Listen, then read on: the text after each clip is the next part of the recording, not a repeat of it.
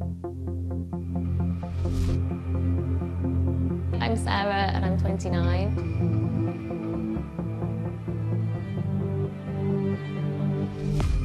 Hi, I'm Kerry. I'm 37.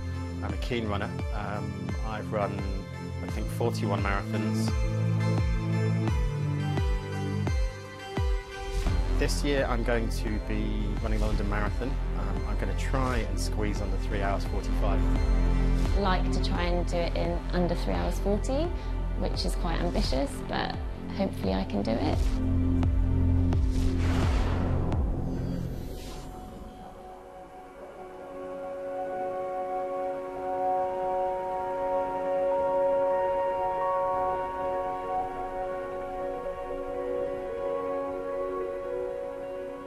First step for Sarah and Kerry will be at Portsmouth University Physiology and Sports Research Centre. The training research is an eight-week programme. It's important before starting high-level endurance training, though, to get specific athlete data, and that's the best way to help them to achieve their goals. The aim of the study is to determine the impact of replacing one weekly running session with a swimming session and its impact on running performance. Their coach is Annie, and she will guide them through to the London Marathon.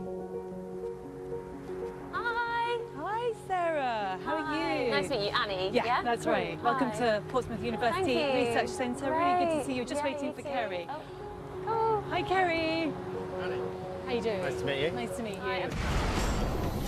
Annie is a former triathlon champion and expert coach with uh, a tailor-made program ready to go for Sarah and Kerry that includes swimming. I'm really excited to be part of this project and really looking forward to working with Kerry and Sarah and seeing them through to the London Marathon and hoping to help them achieve their goals. Hi, Kerry.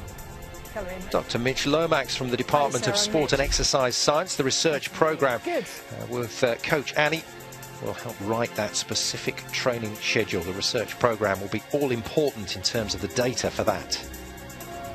I guess it, would be interesting to see kind of how well I did to kind of know maybe what I'm capable of and how fit I am because I do run quite a lot, but I don't know kind of where I sit in terms of that. So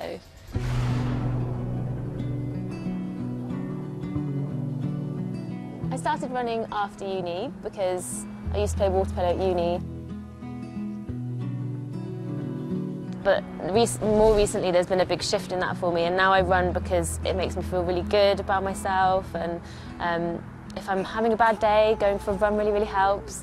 And yeah, if you know, if I'm stressed about something or worried about something, it's just a really good way for me to kind of like clear my head.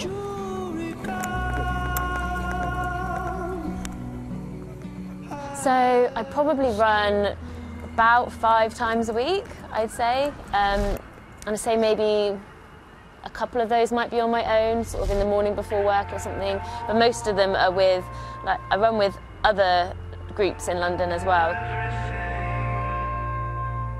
It'll be quite cool to have swimming come back into my training program again and kind of see how that will fit.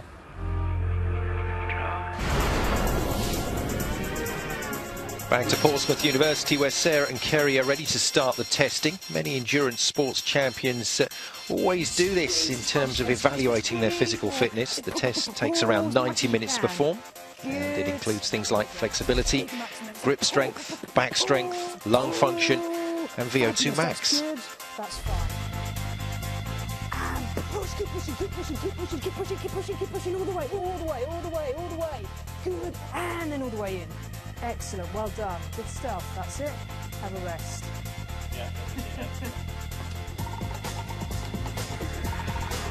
Testing ends with the VO2 max. It's a measure of the maximum volume of oxygen that an athlete can use. As you increase your effort with exercise, the amount of oxygen required to produce energy increases.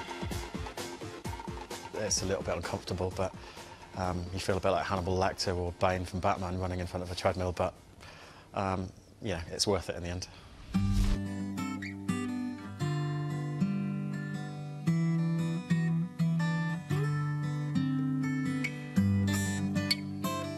Started running about 14 years ago.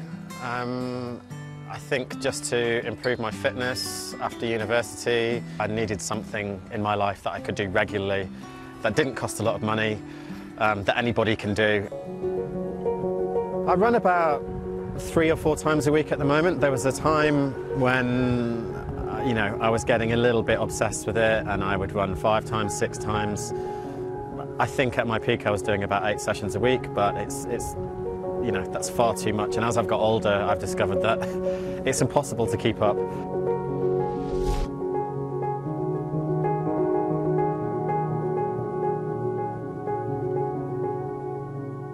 My swimming at the moment isn't great, I've got to be honest. Um, I don't really uh, like to admit to uh, not being good at stuff, but I have to say, if anybody saw me in the pool now, it would be not a comical sight, but it would be obvious that I'm not that proficient at it.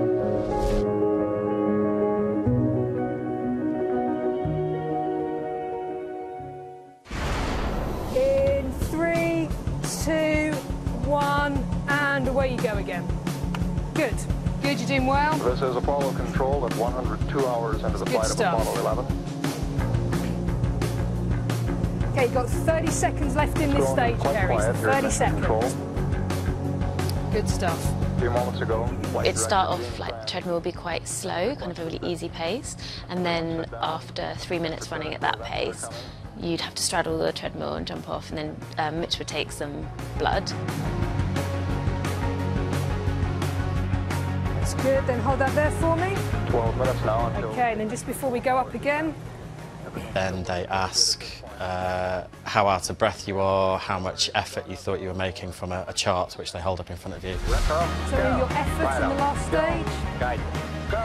Control. 12, fabulous, and your breathing on the last eight. Uh, and then they put the treadmill speed up by two kilometres an hour, and then you jump back on and do another three minutes, and you keep repeating that until you're effectively sprinting and you can't go any further, and you have to uh, jump off and stop. That's good, Kerry. Keep pushing. You're doing really, really well. Keep holding on for as long as you can. Good stuff. That's good. You've just got a minute left at this stage, so keep going for as long as you can. That's really good. Have like running with a mask on, and like having someone like take your blood all the time, and Colors and going around. yeah, it's really strange. Keep pushing, Okay, keep retro. pushing. Go. Excellent. Right Keep on. moving. You're doing well. Guide. Nearly done. Go. You're doing well. You've got 30 Go. seconds left at this stage. Good That's it. Really, really good, Go. Sarah. Keep hanging on in. Keep going. You're doing well. Retro. Just keep going, Right and you're going to straddle in Guide. five, four, three, Go. two, Go. one, Easy. and straddle. Econ. Well done. Go. That's really good. Surgeon. Excellent stuff, Kerry. Well done. Brilliant. So that's the, the testing done. So what I'll do, as with Kerry, I'll transfer your data over to Annie. Okay. Um, and best of luck with the marathon. Thank you. Okay, Mitch, so we've done the tests. We have, we have. Let's see the results. Data's in. Okay, so who do you want to start with first? Let's start with Kerry. What particularly do you want to know? Interest in the VO2 max? Yep, so that's our that's our VO2 max. So Kerry's VO2 max, as expected, is much higher than we would predict based on just his age, his sex, and his height. So that's not surprising given that, that he's an athlete. So yeah, that's a that's a good VO2 max to start with. Let's take a look at Sarah's.